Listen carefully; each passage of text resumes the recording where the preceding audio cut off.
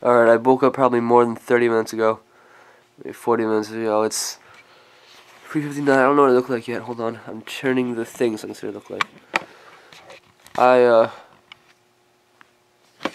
uh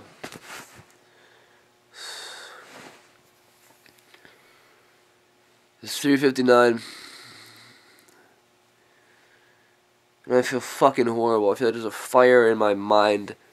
My eyes are gonna need to be welded shut and I um can't get back to sleep.